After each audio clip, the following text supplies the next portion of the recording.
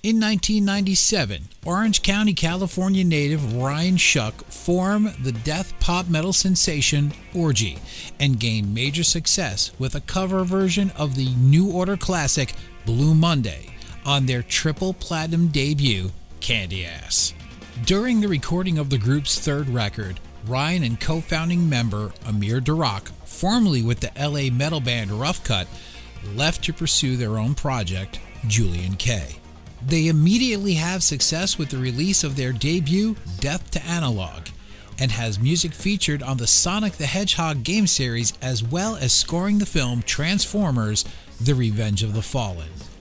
Never satisfied with one stream of creativity, Ryan forms a new band with Amir along with longtime friend Chester Bennington and creates the soon to be supergroup Dead by Sunrise. It all comes to a sudden stop on July 20th, 2017, when Chester Bennington, Ryan's dearest friend, was found dead of an apparent suicide. After a few years of healing, Ryan returns and releases brand new Julien K music and tours with My Chemical Romance, HIM, Evanescence, The Birthday Massacre, and his longtime friend, Korn's Jonathan Davis. This is a 99 WNRR and Launchpad Live Vault interview with Ryan Shuck from Julien K. Hey, this is Ryan Shuck from Julien K, Orgy, Dead by Sunrise, and you are listening to New Regal Radio.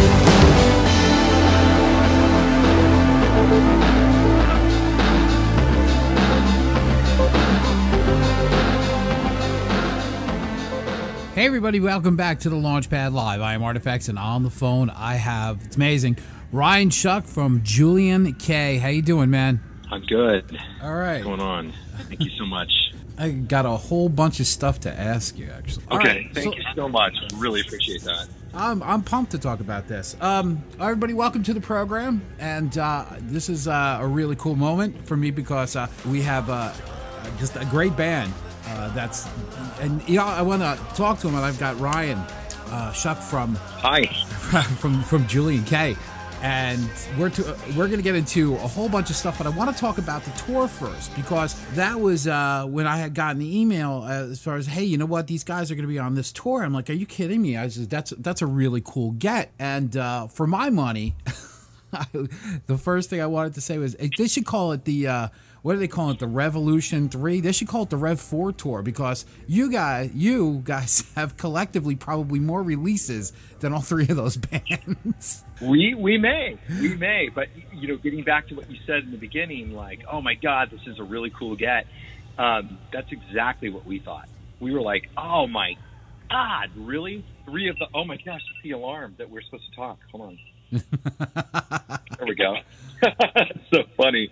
Um, no, we thought the exact same thing. I mean, we were we were kind of blown away. I mean, these are three of the uh, of the best bands in the world, and we were totally stoked. And yeah, we've done Dead by Sunrise, Orgy, and my work's been you know featured with you know with Korn, which you know is big stuff. But Yeah. this is a big deal for us. This is a very big deal for us. the, from a sonic standpoint because you're obviously you know touring with you know people like you know, KMFDM and the Birthday Massacre where you know sonically it jives. This was kind of like out Yeah. of left field because I was like, you know what, this is more, you know, this is more and more electronic, more industrial, and the other guys are kind of like, you know, pseudo alternative classic rock genre like that. What was your first, besides being completely pumped about getting on tour with them? uh, which is like I said, Yeah. a, a great a great way uh, to to have even new people exposed to the music. Um, what did you think about that sonically? You go, wait a minute, hold on. You know, this is really cool, but wait a second. Oh yeah, of course. I mean, anytime we play with any band, we just like any great DJ or honestly any band, you kind of tailor your set to the bands that you're playing with. And uh, you know, you you very seldom, unless you're headlining, you don't really go out and just play whatever the hell you want to play. Um, you you you know the best way to get along and and get people to kind of understand what you're doing is to find the songs in your work catalog that actually really work really well with those bands. And fortunately we have quite a bit of work that works with uh, you know Stone Temple Pilots, Bush, Yeah. and and actually especially Julien K is very much a throwback band. I mean we we reference everything from Depeche Mode to the Cult to Ministry to Nine Inch Nails, early Nine Inch Nails, um, and even our you know other band Orgy, which is now what you know nearly 20 years old. Right. It's like wow, wow. Yeah, you know the funny, 25 th- the funny, happened. yeah, the funny thing is that when you brought up, you know, obviously the bands that you reference, uh, you know, through through influences. But uh, I was I was checking out a couple of the, the tracks on the um, on the big on the time capsule. And uh, by the way, I picked it up. It was it was it's just phenomenal. It's a phenomenal package. Uh, so Thank and like so like much. like darkest dark, my favorite darkest days was like you know it's a song that you, I can hear on Ultra you know? So that was Wow. I love I love the vibe of that track and just uh, I thought it was really cool. I want to get into that too because that's a that's a big broad conversation. That album is a you know a huge huge effort and a major thank you to the fans who who really went over and above for your Indiegogo campaign and I want to talk about that on two fronts um but what what what was your take on the response and then you know, wow I you know I think it was over by 20 grand I think it maxed over by 20 grand Yeah, yeah. Oh, I, over by over by. I, I think the uh, I think we set the, the the ask at at twenty grand, and we made fifty three thousand or something. Yeah. So twenty three thousand or something over. Maybe it was fifteen grand, but it it, it kind of became um, not really that important what the ask was because we knew that our fans and we, and even on our latest campaign, our fans uh, did twenty thousand dollars in one day.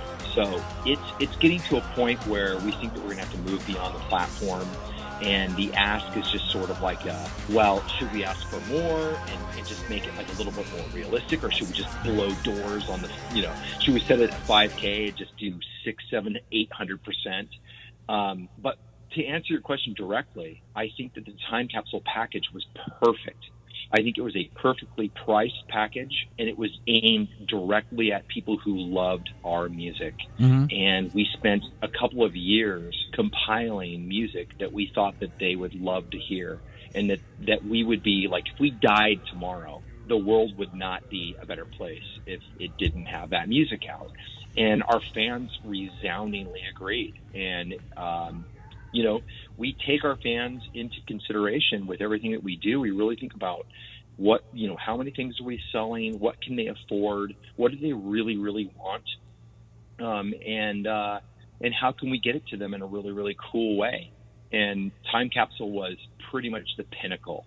And we'll see with Harmonic Disruptor, but with Harmonic Disruptor, the new album, we are literally funding for the first time a new album that isn't completely written. So it's a little bit of a new thing for us. We're actually kind of asking our fans to be our record label. Um, and so far, so good. But, uh, you know, we'll see.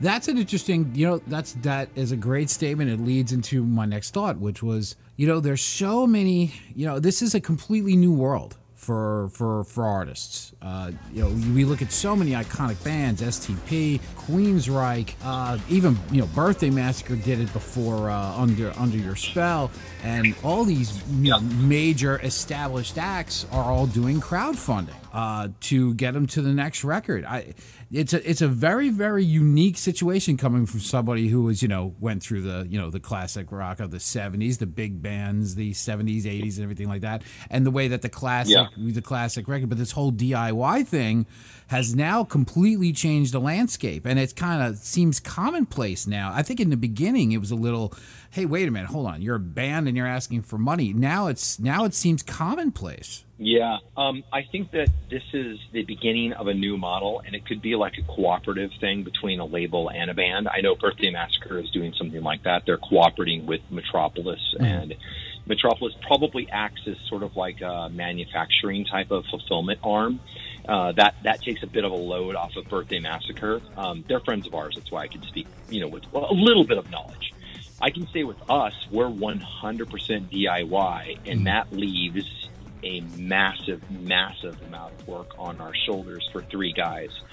Um, we do have some management. We do have a booking agent, but we're a small, small band, and there isn't a lot of money to split. You know, five, six, seven ways. So you have to be really, really careful.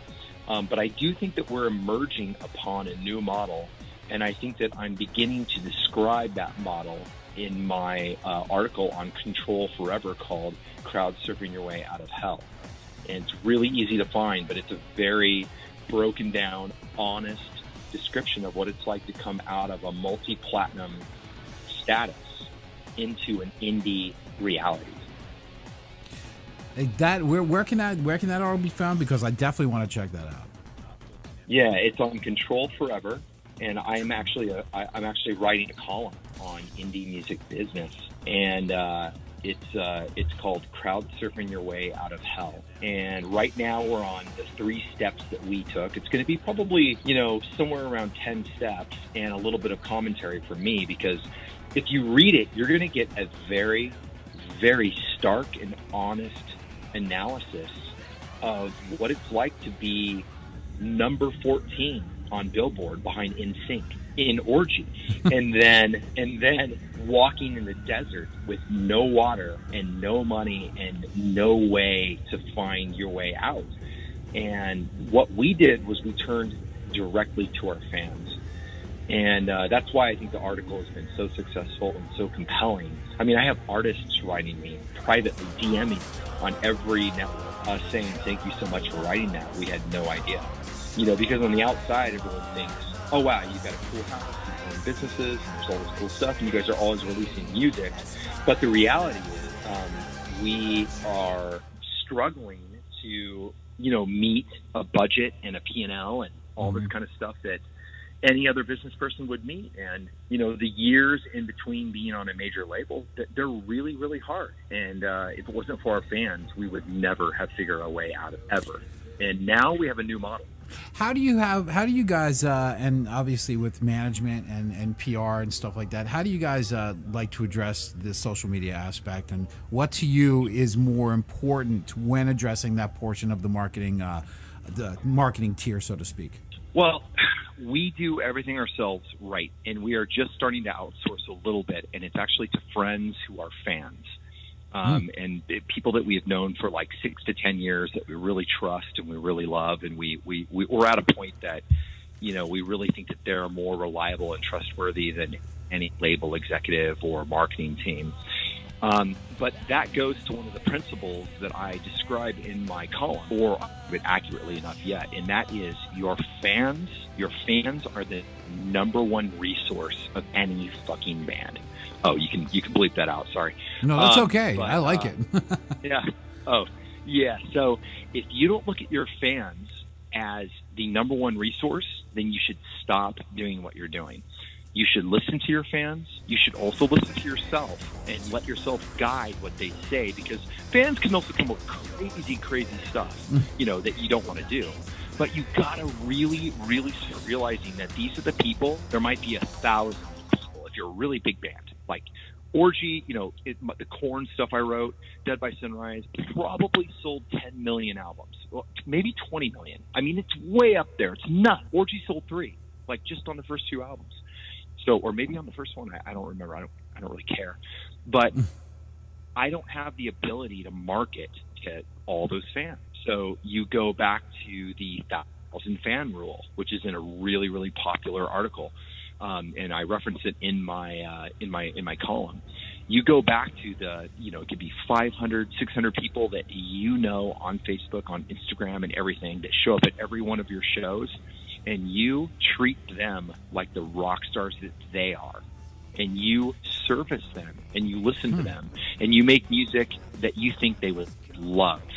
And you know there's you know in our case i know that there's hundreds of thousands of fans out there that probably would love what we're doing and they probably buy what we're doing judging by what we sell. But i can't market to all of them. I don't have two hundred thousand dollars to market. I have I have one hundred and twenty dollars.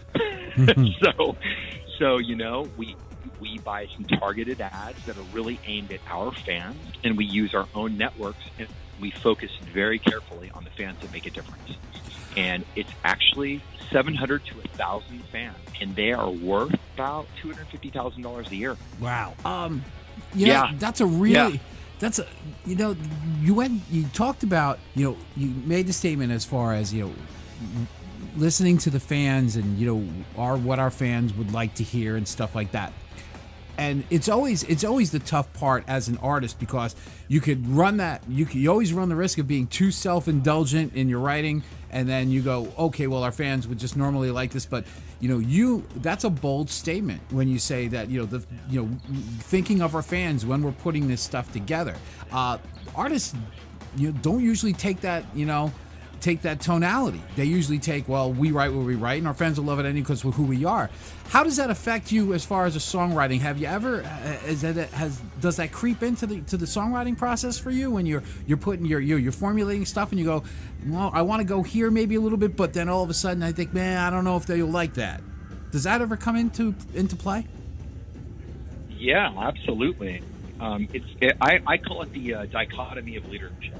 So, as a songwriter and as a band that people love, and obviously we had no fans in the beginning, right? So you had to make some choices and figure out what you wanted to do, and it resonates with people. But if you're going to be a leader, I think that you also have to consider the people that you're leading into the new world or whatever your new vision is. So the dichotomy of leadership is that you have to be individual and you have to think of what you want, but you also have to think about the people that follow you and the people that support you. And don't look at that as a weakness. We look at it as a strength, that as like we have this like really, really cool core group of people that we listen to. And we don't listen to everything. We still do what we want to do, mm-hmm. but we let it guide us. Because sometimes the people that follow you and love you, they sometimes know things about you that you don't know. True. So you got it. You got it. You got to listen. You got to listen. I mean, if you're in radio, if you're in, if you're a writer, if you're in whatever it is you're in, you know, unless you're just, you know, just a complete genius and you can predict what people want, which which I think is really really hard. Um, and and when you're young, you have to take that shot. You have to just kind of do what you want to do, right? And if people Right. like it, then you're onto something. But at some point, you have to start thinking about what is it that resonates with people. Now, if you don't want to make any money and you don't want to be relevant and you don't want to, you know, people to come to your shows, I, I then, then I would recommend ignoring everyone. If you want, if you care about your fans and you care about the people who love your music, I would treat them like your family. Listen to them. Mm. Let them let them guide you a little bit. Yeah, I think I think yeah, that's a that it's a key because I don't think that many people don't realize, you know, the stock and and I mean truly listen. People can people can say I think we're doing stuff for the fans, but to really and I think being a good listener, even when you're the even when you're the writer, being the good listener is really what gets it from point A to point B. Um, speaking of that, and in that process, what do you think? I'm going to go back a little bit. For you, what what do you feel was probably was the strongest growth um, as a writer? Um, when you go back like death to analog uh, you know all the way up to california and then you know obviously going back and taking all the stuff and even some of the new stuff that you're working on for the new record. What do you feel is is the biggest you know i guess growth spurt where it's kind of like you know it's almost like yeah, I always uh, attune it to you know designers or you know learn you know at least learning a craft, and all of a sudden the light goes on, and all of a sudden oh wow I can do this, and then it starts to flow, like all the time, and it's it's almost like a fountain, you can't stop it. Um, when what was that point for you? Um, you know, that's a that's a you said a lot of really relevant, and um, the idea of a turning point where it starts to flow is is very relevant. And I would say harmonic disruptor was where I realized that I I could literally channel all of the influences and instruction and um, friendships and uh, collaborations and collaborators that I've dealt with over the last 25 years, from Jonathan Davis, who I was in my first band with, to Chester Bennington, which I was in my you know Julien K and my last band with. Um, a lot of it came out. I literally found out that I could do things that I, I, I just decided, well, you do it like this. because I've seen it done, you know, all these different ways, and I just literally became a different singer on this album. But it was me. It wasn't a lie. It wasn't a joke. I wasn't filling shoes. It just, I just said, this album needs this, and I sang that way. And that I think is the biggest growth jump of my life. And we're still we're still finishing the album, so we'll see where I land. But um, all of that was built through my first band with with Jonathan Davis. We're like, I mean, world. I mean, wow. I mean, can you imagine if you heard Jonathan sing for the first time? I can. Um, and then being in a room with Chester Bennington before Linkin Park was big, mm-hmm. and then him telling you that he wants to be in your band, and you know listening to him sing and put chills up your arm, and then singing along with him, and having him kind of coach you and help you, and you don't always take it in. And I can say in Chester's case, when he left this earth, some of it came into me, and that influenced heavily. It influenced harmonic disruptor, and that's I think when I when I literally could exhibit every single range of writing and vocal performance and all these things that I used to have Chester just go, no, you just you stand like this and you and you and you you know you use your nose and you use your forehead. It's not your chest, and you just go ah, and you just sing this note that I was like, okay, yeah, I'm never doing that. That's yeah. ridiculous. Um, you know, and it's funny because we're we're playing songs that you know he performed on and sang on stuff like that live for this for this new tour, mm. and um, he's in some of the you know he's in some of the practice material, and I can sing all of it really easily. And I remember hearing it in the beginning, and I was like, uh, you know, he made it seem really, really, really easy. He literally said, "This is easy. It's just like talking." And now I'm doing that talking. And if there was ever a gift, you know, I think that he gave that to me. And then, you know, performing with Jonathan um, at his memorial, just, just you know, you know, less than a year ago.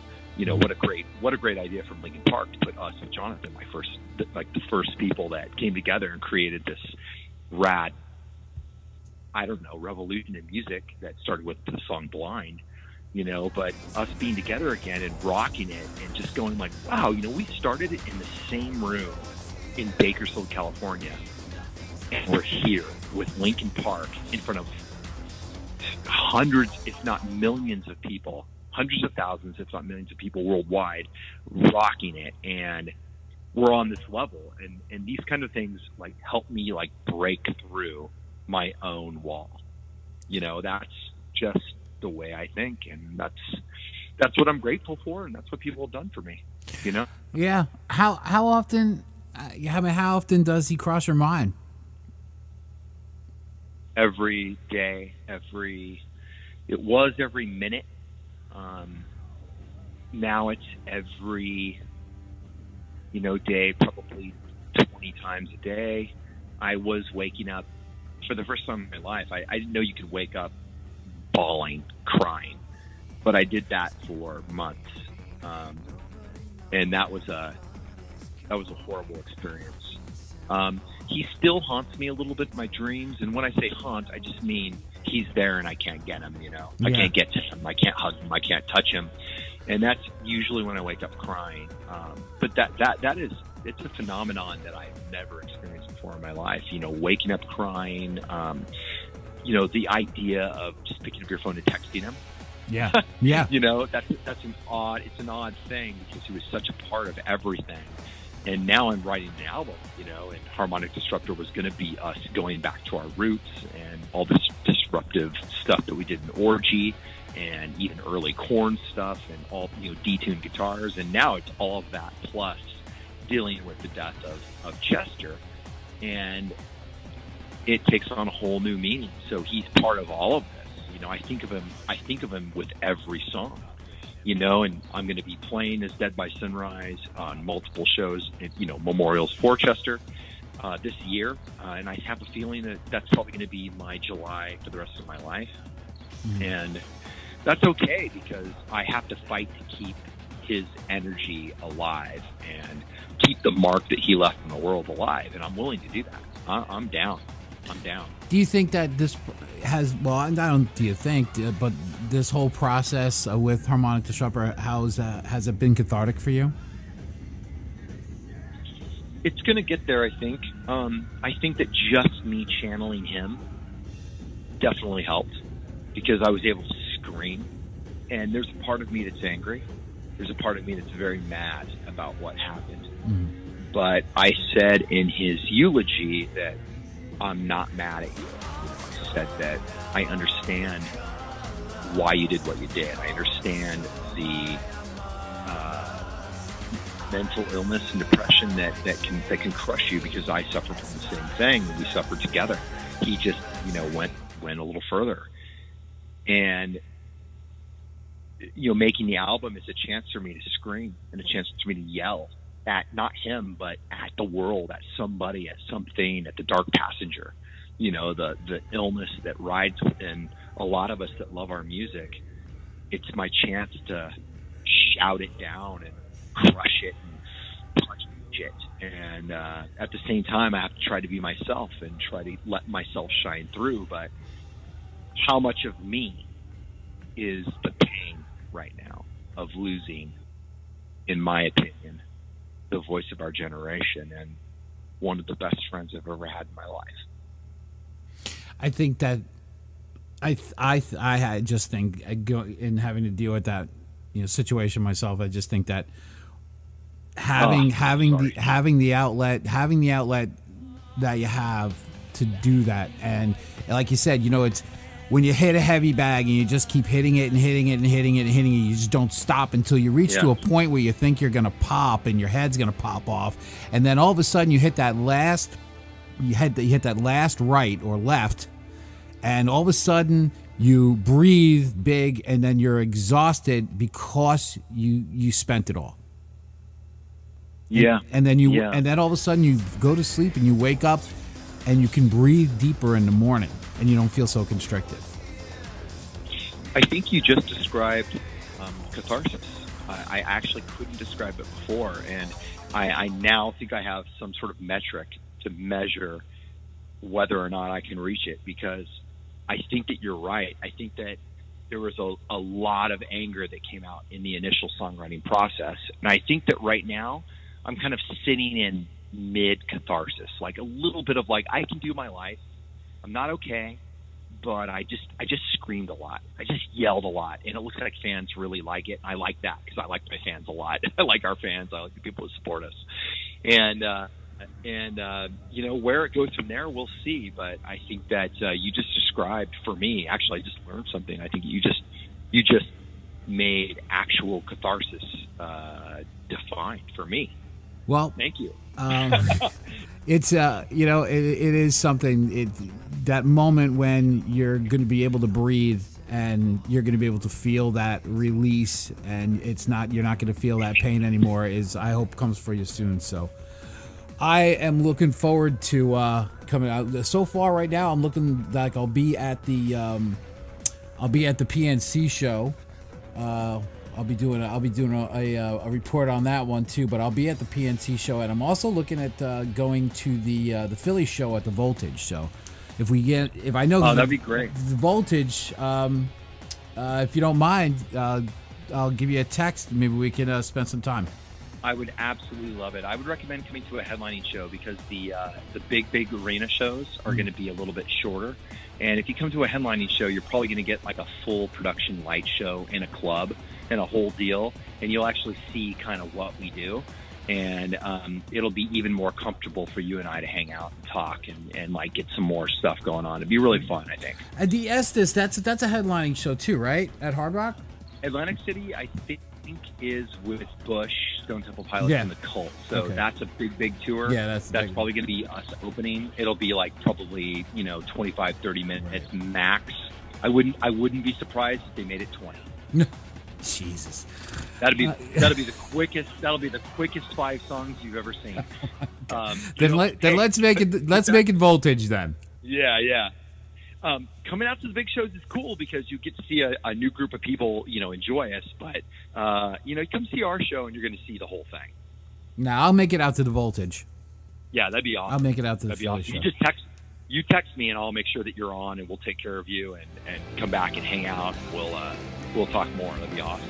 I'm looking forward to it, man. That's this is uh, this is this is this has been well, just something that just organically flowed, and I love I love having conversations like this. I don't really do per se interviews. I love having conversations, and um, I I'm looking forward to that moment when you can breathe again. I really am. Thank you so much. And this was actually a very, very cool and nice interview to do with someone who's very intelligent and knows what the hell they're talking about. So I really appreciate it. Thanks.